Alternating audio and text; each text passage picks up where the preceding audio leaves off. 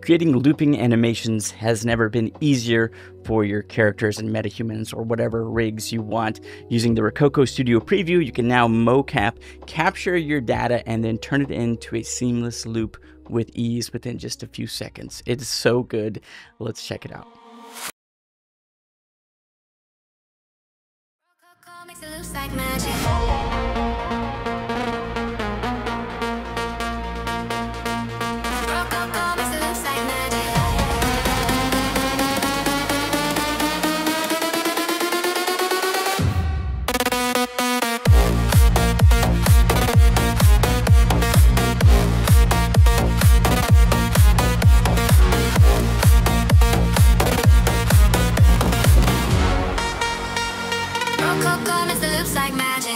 Hey, what's up? Derek Kirk of Effectatron, and today we're checking out the Rokoko Studio Preview. Thanks to Rokoko for sponsoring this video. Basically, the Rokoko Studio Preview has two amazing new features, and they've rebuilt the framework from the ground up, basically, to just make the mocap that much better. It was already fantastic, but now there's smoothing, which just makes things look infinitely better, and you can dial it in. It's fantastic, super easy to use, and it works like bam, like it's basically real time. Uh, and then on top of that, you also have the now ability to loop, which is so, so good. So what you're watching here are my metahuman and another metahuman I created uh, that we're going to do some some spooky video with probably, but I'm going to create some assets for you guys to use to make your own spooky thing, Halloween season, or whatever. We'll make some crowd assets, whatever we want to do. We can do anything now and make them loop because it's that easy to do. And basically, this wasn't a loop, right? This was just a dance move and for like a second and a half, maybe two seconds, and then it smoothed and transitioned and looped it with literally like just a few clicks. Uh, it's that easy to do. So let's just go ahead and check out how easy it was to create this animation and rig it up and stuff. And then don't forget to check the links below for those animations that I created and let me know what you guys want to see. I can, I have the full bodysuit with the gloves and everything and I love acting. So included for free, you're going to get this idle one because I think everybody needs a good idle loop, walk loop for that. And uh, those two are going to be available for free, links below which I think is really cool. One where they're walking with an umbrella, which is pretty good. There's a zombie walking. That's a good one, right? Over the top scared run. That's available as well. Uh, but yeah, I want to make sure I just provide for you guys. And again, thank you so much for Rokoko for sponsoring this video. I can't like I love doing Rokoko videos. Um, anytime any excuse I have to throw on the suit and create something is so cool because it just it bridges the gap between you know, there's there's world building and creating and lighting and all that stuff, but once you add characters into your scene, it just breathes a whole new layer of life into it, and I love that. And the thought of hand animating anything, it sounds so tedious and stressful, and I'm not good at it, and that sounds awful. So it's like, it's like, oh, I want to do all this stuff, and then it's like, ah, but I don't want to do that. But I can do that with my body. And so Rokoko makes it so easy that I can actually do that. And now it's bridged the gap between dreams and reality. And I can actually create things that I want to create. And I just, I love it. Thank you so much. So let's dive in and get into it. Oh, also, don't forget to check out the link for Rokoko below. Always a discount code. Use my code, link below, is worth every penny. So once you download the Rokoko Studio Preview, you know, you have some sample projects that were available in the other studio, like this dancing one. We go ahead and hit play, but you can tell the user interface is different right off the bat. And it's nice. Uh, we'll go ahead and switch this to 100%, but we'll hit play on this. And you'll see this is the original mocap data that Sam provided. I assume it's Sam. I don't know for sure, but yeah, that's a Sam dance if I'm going to guess. But yeah, basically, this is like a cool little dance, right? I say cool. This is a dance. Who am I to judge? I can't dance. Uh, but yeah, this is a, so yeah, let's just grab something from this and create a loop out of it. It's very easy to do, and then we'll do it real quick. So like this one where the feet really aren't moving much, that's a good loop right there. Okay, so like that little bit, this little bit right here. We'll do that. Obviously, you know, you don't want to try to like loop things that don't make sense to be looped. Um, but there is some smoothing between the beginning and the end, so you can like blend things together. So it doesn't have to be like a perfect loop, but it needs to be close. Like you're not going to be able to, your first frame, if your right foot's on the ground, and your last frame, if your left foot's on the ground, that's not going to loop, right? That just doesn't make sense. But if right foot to right foot, yes, that kind of thing, right? So hand up in the air, hand down low, should be fine, right? So here's literally all we need to do. First things first, we're going to go ahead and add the smoothing layer, which is right here, and then the looping layer, which is right here. Very, very easy. These two layers, that's all it is. Like this is what the interface looks like when you open up a project. Okay, and you've brought in your mocap data. So first things first, let's just go ahead and smooth the whole layer. We'll just stretch this out all the way across because it doesn't take any time at all. And so now you can just see right off the bat, uh, we'll go ahead and lower that smoothing down to like five, which is what Sam suggests, and it recalculates, and then boom, it's good to go. And so now it's just going to be a little smoother. You're not going to have that as much popping, like a little bit of that, and everything's just going to be together smoother. Cool. So now what we can do is kind of go to this part where we want to kind of steal. There we go. We'll pause and we'll go to like right here. Somewhere in this bit where he's just dancing, kind of similar. So we'll say right here he ends with his left hand up. So we'll grab this and just, it looks like you need to like click and drag it, but really just click it and then you move it and that's kind of how it works. And so we'll slide this back and we'll put this in. You're to need to hit play again. But right off the bat, we've created like just a segment, right? That we can loop between. And we want to pull this back bit back here because we want it to kind of be. So left hand's up at the beginning of this. So let's go ahead and pull this back a little bit more. And so let's see. Something like that. Let's see. Let's see. Because it doesn't even have to be perfect. We'll pull this back a bit again.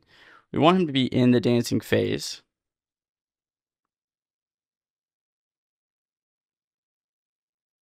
Okay, so obviously the start of this needs to be kind of more up here. Slide it a little bit more like that.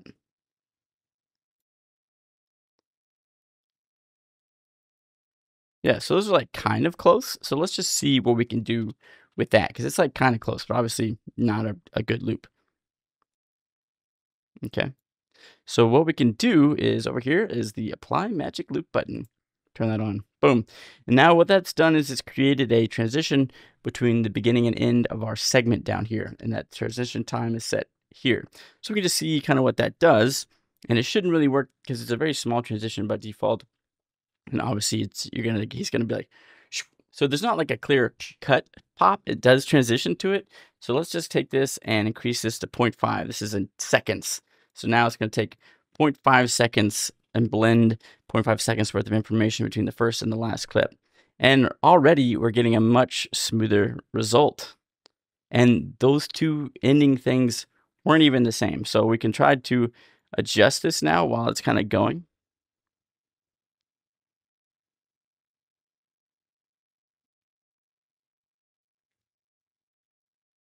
And now we can close the loop, lock it to the axis, and start from the origin, which is going to center it for us. And now we have a perfect dancing loop, just like that. How cool is that? Now all you need to do to export is literally right click your clip down here and say export. And then you can choose FBX and the default, which is going to be uh, like the Newton one, basically the Unreal Engine one. And then there's Mixamo or Human IK if you want to do something like in Blender or something like that. That's probably going to be easier. Mixamo is probably good too, but let's just do FBX and default skeleton and go ahead and export that. Boom. And we'll call this a dancing loop. And we'll save it in here and say save. Cool. Now let's, before we jump into the suit, actually, let's just bring that into Unreal and put it on the character we're created. Okay, so inside Unreal Engine, we've got our character here that we've created, and let's just go ahead and create a new sequence here just for this. We'll call it Rokoko. And we'll grab her and toss her in. Boop. Cool. Now, I, I have added cloth physics uh, to her. We'll talk about the jiggle physics because you got to have a character like this for something spooky, right? They're always in the horror movies. Things are happening there. Uh, let's go ahead and delete her control rig because we don't need that. So let's go ahead and just bring in our mocap here. We'll, we'll right click in the content folder. We can find an empty space over here on the right and say new folder. And we'll call this Rokoko or mocap, whatever you want to call it. and we're just going to import in that footage. Uh, so we'll just click import and we'll grab that FBX. We exported the dancing loop, hit open. It's going to open up this version. Uh, there's, you know, debate on whether um, this is the way to do it or if you should click and drag it or if you should open up, right click and say filter through whatever type. So if you right click and go to import this time, and instead of right here, we go down to FBX animation. Uh, if you filter that out by FBX animation. We see here, we've got FBX animation here. It will grab our dancing loop. And when we import that, we get a different one. This is probably the one you want. So make sure you filter that out just so it's a little better. We definitely want to import animations. That's important. Um, and that everything else should be good. So go ahead and click import. So now we have our animation sequence. We can double click that and take a look at that. And we should see our little loop here looking good. Nice. So go ahead and right click that and go to retarget animation. And now we can just pick your person, which ours is victim number one, which is what we've called her. And we choose the dancing loop and say export animations. We'll call this zero dance. We do zero because it's just going to make it show up the fastest. So now what we can do is in the sequencer underneath our body, we can click the little plus sign, go to animations, and right here at the top will be zero dance looping animation. Boom. Click that. And now we can hit play. And you see she's dancing. She's looping. So now we can add more frames here. We can do a thousand and where she can dance forever. Let me fix some of the physics real quick. All right, so now when we hit play, we'll get our nice dancing animation. We have some cloth physics on and stuff. So we got some good wrinkles and things going on. But yeah, there we go. We obviously need to lift her up. No problem. Just bring her up. There she is. Dancing away. So the cool part is, is now we can still like animate her face because, you know, obviously the body rig and that are different. So we can still come in here and do whatever we want with that. That little dance face. Move your eyes looking oh like that. Right now we grab our camera. And so the cool part is is like you know obviously like right here her hand seems to be kind of clipping into her chin just ever so slightly but all you need to do to fix that is underneath our victim here for our body we can uh, double or just click this go to control rig and turn on layered okay? And then we can add in our metahuman control rig on top of our animation. So we can just grab her hand literally and pull it back out of her face. And now she'll still retain the animation, but now her hand won't be clipping into her face. So now you see she's not going to punch herself in the face. Except right, looks like right here she kind of does again. So we just grab that again, pull that back down, grab the this. And we don't want to break it. Just rotate her hand a little bit. Maybe just change that. And there we go. So now you know, she's not quite so. There we go. And of course, we can animate like fingers and stuff like that with a funny face. Good to go. And we created that like that, right? So now we can come in and do that. Now we can do that with whoever. If I want to uh, come in here, obviously, and grab uh, myself and choose blueprint class. There I am. Boom, that's me. My hair's gone. I'm back. Okay. All right, so now go back to the sequence and toss me in here. Again, delete the body, rigged right off the bat, and then we can layer it back in when we need to. Big dance animation, boom. Oh, yeah.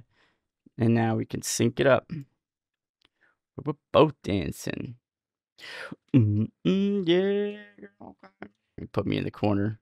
Like I'm just, ah, like I'm just being kind of creepy, you know. And if you see this, like with my hand is freaking out, that's with my clothing. It's like an LOD thing. I just need to switch the LOD of my clothing to be zero. But yeah, there you go. You know, add some different lights, add some fog in there. You got yourself a little scene. That's how easy it is using Rokoko Studio Preview with its new features of the Magic Loop, which really does work like magic. The smoothing tools combined with the loop tools make it a no-brainer for someone that's going to capture stuff, but you want to just create literally anything that a human being can do uh, you can now do it uh, very quickly and easily and make like crowds. You can do, you know, people blacksmiths working in a storefront, whatever. I don't know. I'm, I am flipping on a skillet instead of hammering, but you can literally just start creating things. So let me know in the comments what you guys want me to do because I can just start making stuff. I love to act out things and stuff, and I don't know what you guys need, so I can provide that for you. Uh, and basically, we can just create loops of it for background characters, crowds, everything. This kind of thing is amazing. ArchViz stuff, people walking, people on their cell phones, people on tablets, whatever you want, people typing on the computer, playing video games, whatever. The Rokoko can capture any of it and make any of it loop, which is phenomenal. So again, uh, I'm going to capture a few things and do that, and I'll provide those to you. Link below. We'll have a couple free ones, and then there'll be more on the Patreon. So, which right now, the time of this video is only 250 $2.50 for literally one month of everything. And just signing up for one month of that will support me more than if you watch my videos a thousand times. So uh, I appreciate that. If you just want to do that for one month, download everything and leave, totally fine. You do you. All right. I just appreciate any little bit. So thank you guys so much. And again, everything in my store right now is on sale, fall 50. Use that. And again, thank you for Rokoko for sponsoring this video. Rokoko is the best. And uh, we'll do more. We'll we'll make more with this tool because it's just so cool. So let me know what you guys want to see, and we'll do more.